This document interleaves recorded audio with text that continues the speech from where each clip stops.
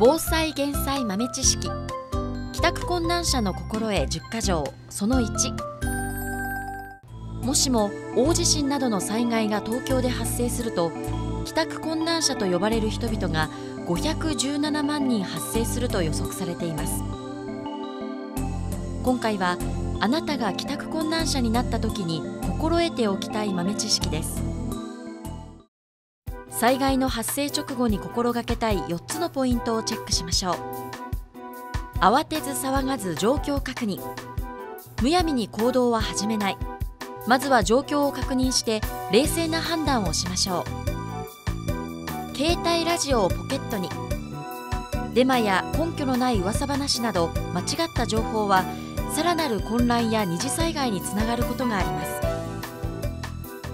安否確認。災害発生時には電話がかかりにくくなります。災害用伝言ダイヤル171や災害用伝言板などを利用して家族や職場と連絡を取りましょう。声を掛け合い助け合おう。大きな災害ほど周りの人と協力し合うことで多くの命を救うことができます。帰宅困難者になっても冷静に時には周りの人と協力を。